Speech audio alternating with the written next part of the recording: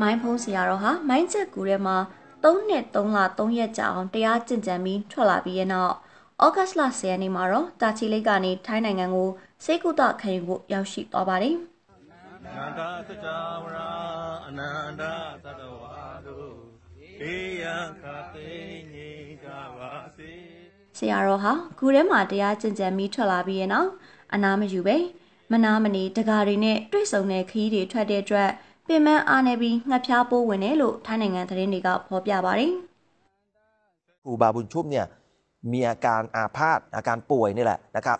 แล้วก็ต้องรีบนำตัวเนี่ยเข้ารับการรักษาเป็นการด่วนในกรุงเทพมหานคร ก่อนหน้าที่จะป่วยเนี่ยก็มีการเผยแพร่คลิปแล้วก็ภาพเนี่ยอาการลักษณะแปลกๆของครูบาบุญชุ่ม ซึ่งก็มีการวิพากษ์วิจารณ์ถึงอาการดังกล่าวด้วยนะครับคุณผู้ชมฮะကကြနာပူရီမှာကျောင်းထိုင်နေတဲ့ ထိုင်းဆရာတော်လုံဖော်လိတ်ကတော့ဆရာတော်ဖြစ်နေတဲ့အခြေအနေကြည့်ပြီးတန်ဃာတွေရဲ့ဝီနီကိုချိုးပေါက်တာမဟုတ်ပဲဆရာတော်ဟာအားနေပြီးငှက်ဖျားဖို့မိလို့တတိလစ်သွားတာဖြစ်တယ်လို့ YouTube ထဲမှာမိတ်ဆိုထားပါတယ်။အရင်ကလည်းဆရာတော်ဟာအုံနောက်သွေးကြောပေါက်တဲ့ယောဂနဲ့စေကုသခံယူခဲ့ပူပါတယ်။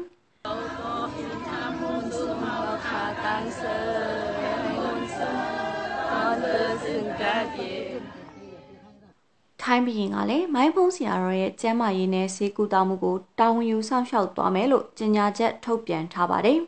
။မိုင်းဖုံးဆရာတော်ကိုမြန်မာ၊ထိုင်း၊လာအိုနိုင်ငံတွေကကြီးညိုတဲ့ဆရာတော်တစ်ပါးလည်းဖြစ်ပါတယ်။